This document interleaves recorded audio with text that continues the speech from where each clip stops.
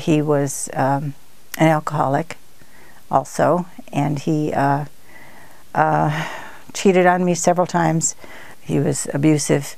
The first, about the first eight years of our marriage, he was physically abusive um, until I stood up to him. I was nine months pregnant, and he started shoving me around, and uh, I shoved back. And I said, No more, you're never going to lay a hand on me again.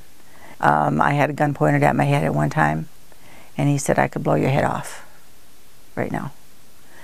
And um, I think if I would have said something in response to that, he would have. He continued his off and on relationship with his abuse and his drinking and his carousing. Um, and I, I endured that for 24 years and um, gave him permission to abuse me, is what I feel I did. I didn't know how to get out of it. I had three children by that time, didn't know how to break loose of it.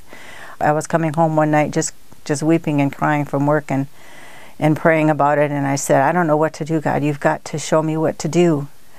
And I said, Should I divorce him? Should I not? You know, give me an answer. And the only thing that God said to me is, What do you want to do above anything else? And I said, I want to serve you. And I want to I want to be there for to do what you want me to do above anything. I don't care. Anything else, it doesn't matter. And he said to me, I believe he said to me, What what you do will be my desire for you, because I have given you the desires of your heart.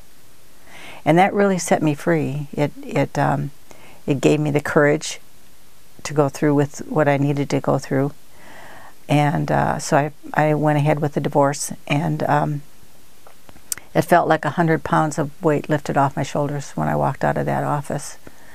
I know God wants us to stay in relationships and, and try to make the best of relationships. I'm not condoning divorce. I believe that God has a plan for each one of us. And uh, I believe that, that He brings us back full circle because He has restored to me everything that I have lost. He's restored to me um, a new husband, and we've been married almost 25 years now. And he's given me a man that um, truly treats me like I should be treated. I asked God one day, as um, I was laying there, I said, God, why did I, why did I wait 24 years? What's the purpose of that? Why was I in that relationship for 24 years when I knew it was wrong?